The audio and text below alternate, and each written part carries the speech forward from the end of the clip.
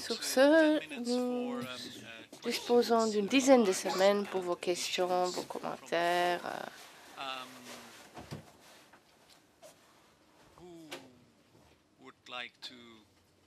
Alors, vous avez la parole, n'hésitez pas. Avez-vous des questions? Allez-y. Eh, Merci beaucoup, Monsieur le Président. Je suis du Kenya et j'ai une question à poser à M. Grimm qui a, qui a parlé de l'usage des satellites pour euh, alerter sur euh, les les sécheresses et autres problèmes. Mais je me demande si nos gouvernements sont vraiment prêts à agir une fois ces, alertes données. Donc je voudrais poser la question, qu'est-ce que nous pouvons faire? Est-ce que c'est une question de priori, priorisation de la part des gouvernements? Et, euh, Madame Kofi, euh, il y a quelque chose qui manque euh, chez nous quant à l'irrigation euh, alimentée par le solaire, le recueillement de l'eau. Encore une fois, qu'est-ce que nous pouvons faire pour améliorer la situation pour que nous puissions mieux capter l'eau et même utiliser les eaux usées? Merci beaucoup. Merci. Professeur, vous avez la parole? Uh, Merci beaucoup. J'ai juste un petit um, commentaire. Je voudrais vous savoir quel est l'impact de ces discussions sur le bien-être des populations. C'est bien sûr au niveau intellectuel, c'est très intéressant, mais je pense qu'on parle trop de ces interconnexions, trop de projets, de plans d'action, de feuilles de route, mais nous oublions la base qui est vraiment euh, travailler avec la population, quel que soit le programme politique. Euh, nous n'allons pas y arriver. Nous devons récupérer la confiance euh, de la population. Il y a besoin de voir comment articuler ces différentes interventions, plans d'action, feuilles de route, politiques pour euh, améliorer le bien-être de nos populations, qui est bien évidemment notre premier objectif. Donc c'est une grande question d'interrogation, point d'interrogation. Je pense que parler, tout simplement, ne, ne va pas résoudre la question. Merci pour ce commentaire. Isoline, oui, j'avais une question pour Craig qui peut également s'appliquer à ce ces intervenants, l'Afrique du Sud et autres, euh, la question de la prévention des conflits et la pression sur les ressources. Vous avez mentionné la coopération transfrontalière comment vous y parvenez. Et Craig, votre analyse de, analyse de l'Afrique de l'Ouest, est-ce que vous voyez les mêmes tendances Quels sont les mêmes euh, facteurs euh, qui alimentent le conflit? Est-ce que vous voyez des tendances plus ou moins communes euh, entre les pays? Merci pour ces questions. Passons maintenant aux réponses. La première question a été posée à Ruth Grimm, de l'ambassadeur du Kenya. Vous vous rappelez la question? Oui, euh, si j'ai bien compris, quant au rôle du gouvernement, je sais qu'il y a plusieurs uh, programmes en cours dans la région. Il y a aussi des institutions kenyanes qui travaillent dessus, une institution RCMD qui travaille dans Nairobi. Donc, il y a beaucoup d'organisations et d'activités pour euh, obtenir des données satellitaires et en faire euh, des services ou des conseils utiles. Et nous voyons très souvent que pour une raison ou une autre, les informations restent au niveau du gouvernement. Uh, C'est pourquoi nous penchons sur les besoins des petits agriculteurs. Les, et nous travaillons avec des ONG, uh, les agents des ministères,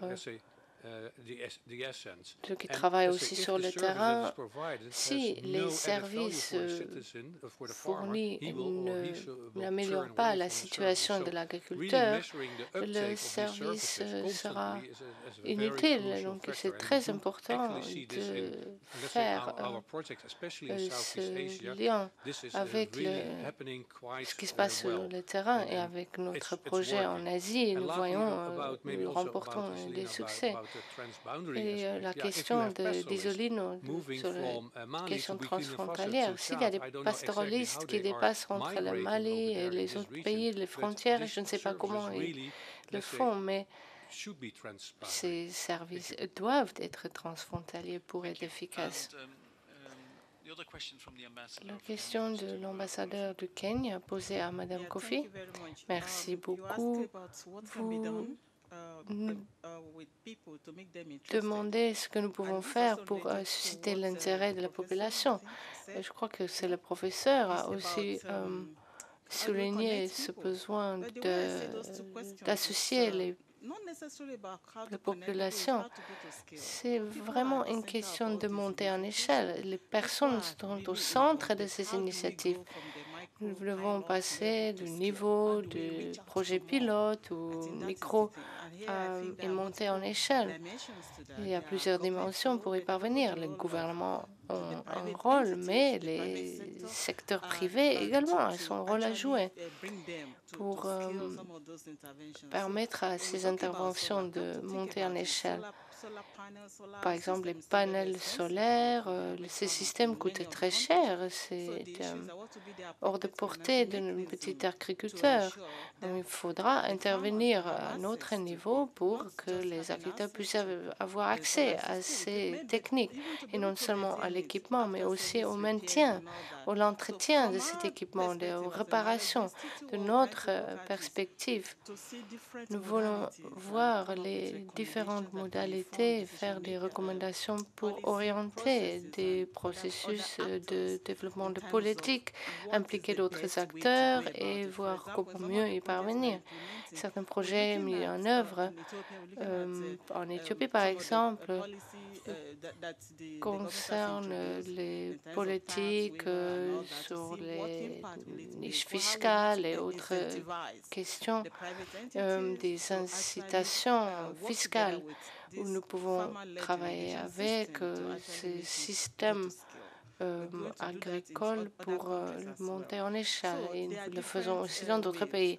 Il y a plusieurs façons d'y parvenir, mais les populations doivent être au centre et après nous passons à une échelle supérieure. Nous avons besoin de politiques, d'acteurs privés, publics, plusieurs acteurs. Et euh, pour que les citoyens vous écoutent, vous devez euh, récupérer leur confiance. Sinon, ils ne vont pas vous, euh, vous écouter. Non, je suis d'accord. Et si on regarde la deuxième catégorie de pratiques dont j'ai fait référence, on parle des projets que parfois n'intéressent pas la population. Comment est-ce que nous pouvons attirer leur attention? une chose, euh, quand on voit que quelque chose fonctionne. Par exemple, si on arrive à capter l'eau, euh, nous avons des techniques agricoles qui fonctionnent. Bien sûr, les personnes sont intéressées. En Éthiopie, nous utilisons ce détecteur de hydrique et nous avons commencé à petite échelle et maintenant cela bénéficie des centaines d'agriculteurs. Ils peuvent augmenter leur projet d'irrigation grâce à cela. Il s'agit encore une fois de commencer à une petite échelle et puis trouver des cas d'école. Ensuite, nous pouvons consolider ces projets et puis monter en échelle. C'est une série de questions qui doivent être mises ensemble pour fonctionner. La question d'Isolina sur la prévention du conflit en Afrique du Sud. Merci beaucoup.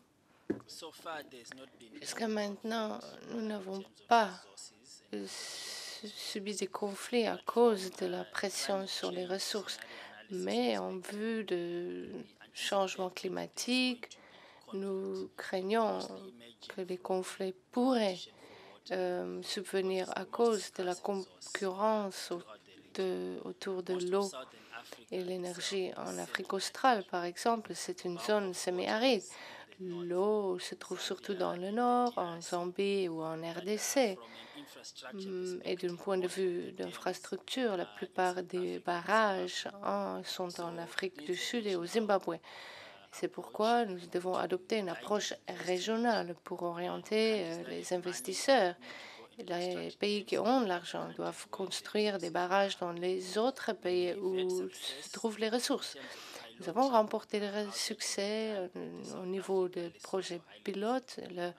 nous avons un projet euh, d'eau entre l'Afrique du Sud et le Lesotho. L'Afrique investit dans l'infrastructure de barrages et le Lesotho au retour fournit de l'eau l'Afrique du Sud, surtout pour le nord de l'Afrique du Sud. Nous devons le faire également pour l'agriculture, les zones productives, surtout la production de céréales. Euh, ont euh, changé. Peut-être les producteurs euh, traditionnels ne peuvent pas subvenir aux besoins à l'avenir.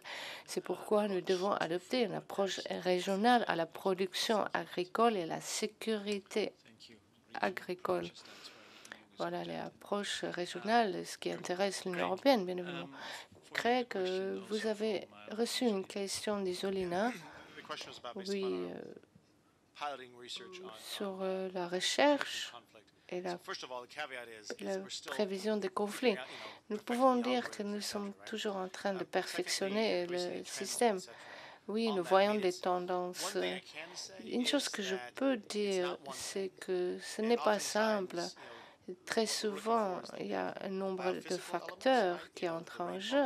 Nous avons les questions biophysiques, la pluviométrie, mais parfois on a des situations où deux pays limitrophes les mêmes, subissent les mêmes tendances ou des phénomènes climatiques. Dans un pays, le conflit éclate et l'autre non. Donc, euh, nous pouvons dire que c'est vraiment la combinaison de tous ces facteurs qui entrent en jeu. Et avec le temps, j'espère que nous pouvons mieux comparer ces cas de figure. David, avez-vous quelque chose à ajouter?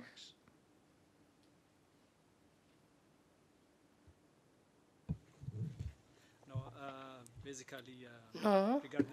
Euh, sur la question des conflits et la rareté des ressources, c'est une question euh, réelle. Le changement climatique et le conflit en Éthiopie n'est pas vraiment lié aux ressources. Vous aurez suivi la situation. Il y a plusieurs facteurs qui alimentent les tensions sociales et les conflits. Donc le problème, c'est quand les personnes sont déplacées euh, où la question de la sécurité alimentaire et la rareté de l'eau entrent en jeu. Et dans notre cas, ces facteurs contribuent et exacerbent l'insécurité euh, alimentaire et la rareté l'eau. Euh, dans une des études que nous avons menées, les collègues ont trouvé que la production alimentaire au Soudan et en Égypte et la production énergétique en Éthiopie peuvent être euh, euh, mises ensemble pour euh, optimiser la production de agricole et l'échange dans ce sens et ainsi nous pouvons créer des synergies entre nos pays. Sur ce propos très positif, je donne la parole à, Madame Kofi. Ensuite, nous allons clore. Sur la question des conflits maintenant, nous ne devons pas attendre à ce que le conflit éclate avant d'y répondre. Et le dialogue est très important non seulement au niveau de la base, au niveau national ou local. Il y a des outils très simples, des jeux par exemple, qu'on peut utiliser au niveau local, qui euh, peuvent susciter l'attention, qui peuvent nous apprendre plus de ces interactions. Et ces outils peuvent également servir à un niveau supérieur. Le dialogue avec toutes les parties prenantes est essentiel pour, euh, pour créer un processus participatif. Grand merci et cela nous amène presque à la fin de la session. Le dernier mot sera à M. Banzi au nom du groupe ACP. Et cela pourrait clore la session. Vraiment, le dernier mot. Euh, je voudrais parler en portugais. Tout d'abord, je voudrais vous présenter mes excuses du fait de l'absence euh, du secrétaire général et je n'ai pas pu non plus me joindre à vous ce matin du fait euh, de chevauchement d'agenda. néanmoins, je tiens à vous dire combien ça a été pour moi un plaisir d'accueillir au nom du secrétaire général cette séance d'information à la maison ACP. C'est une façon pour nous d'apporter notre contribution concrètement à nos États membres. Nous sommes 79 pays d'Afrique, des Caraïbes et du Pacifique. Nous sommes une organisation transcontinentale et les questions euh, continentales, transrégionales dont il était question ici euh, sont éminemment importantes. Euh, elles sont le fondement de notre solidarité, de nos intérêts communs et de la solidarité dont nous nous enorgueillissons. Je pense que nous avons une contribution importante à faire pour que les ACP atteignent euh, les objectifs qu'ils se sont fixés. Nous nous félicitons particulièrement du fait que vous ayez touché à un thème qui constitue le socle même de notre existence. De notre existence. Personne ne peut vivre euh, en dehors de la planète ni sans eau ou alimentation. Ce sont donc les bases euh, de notre euh, survie. Et survivre, vivre euh, nécessite un abri, de l'eau, des produits alimentaires. Et je pense que ce sont des questions éminemment importantes. Et je félicite le directeur du CTA et ses collègues pour avoir choisi ce thème. J'ai suivi euh, une partie de vos échanges euh, qui m'ont particulièrement intéressé, surtout en ce qui concerne les défis. Et je voudrais euh, souligner particulièrement la question de la mise en œuvre des actions je pense que c'est un aspect important au niveau euh, macro, au niveau stratégique, au niveau de l'élaboration des, des politiques. Il est important que nous arrivions à convaincre et nos dirigeants et nos populations euh, pour qu'ils apprécient la pertinence de, de, nos propositions, euh, des propositions qui émanent d'interlocuteurs euh, comme vous. Euh, il a aussi été question d'impact sur euh, nos populations, d'impact de, ces actions sur nos populations pour valoriser justement toutes ces connaissances. Un troisième aspect dont il a été question, je pense, dans le panel précédent, c'est la relation entre ces ressources, la terre, l'eau, l'énergie et la contribution des femmes et des, euh, des filles en la matière. Dans la plupart de nos pays, euh, nous dépendons de l'agriculture, mais euh, surtout des femmes et des jeunes. C'est donc une dimension que nous ne devons pas ignorer lorsque nous parlons de l'agriculture ou de ressources hydrauliques. Un autre élément qui me semble tout aussi important, euh, c'est la nécessité d'entendre différentes perspectives, non seulement en termes de connaissances, mais aussi de euh, provenance géographique.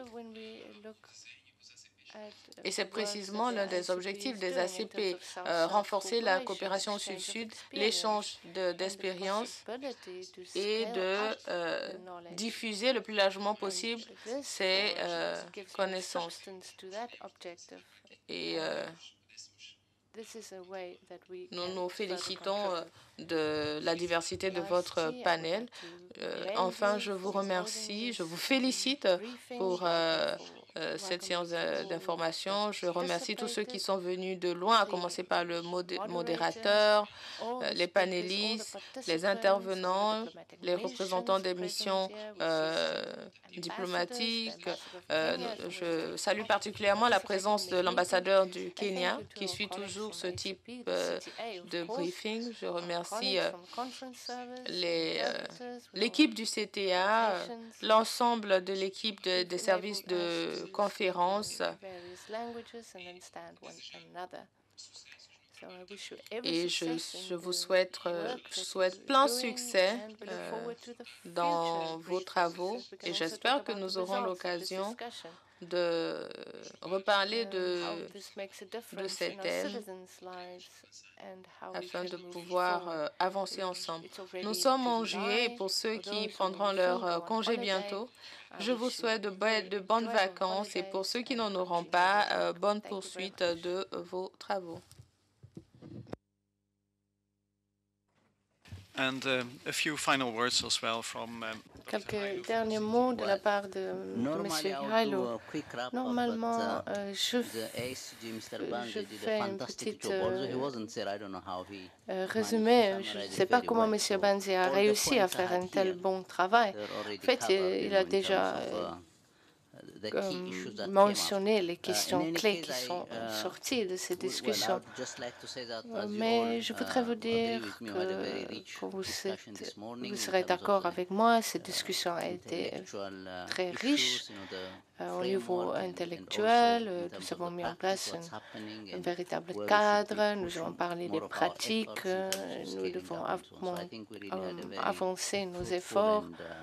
Et je pense que cela a été une discussion très utile. Je voudrais saisir cette occasion au nom de CTDA pour remercier nos intervenants qui ont présenté leurs recherches et ont contribué avec une telle euh, connaissance. Merci à notre président qui a fait un excellent travail en présidant les discussions. Je remercie le secrétariat des ACP de nous avoir euh, mis à disposition cette infrastructure. Leurs interprètes sont toujours très reconnaissants d'avoir ces discussions ici à la maison ACP. Je vous remercie tous d'être restés jusqu'à la fin, ma collègue Isolina et les autres collègues qui ont travaillé euh, très dur pour mettre en place organiser cet événement. C'est toujours un grand effort de leur part. Je leur euh, remercie et leur félicite. Je vous remercie maintenant et je vous invite au, au déjeuner pour, où nous pouvons continuer nos discussions. Merci beaucoup.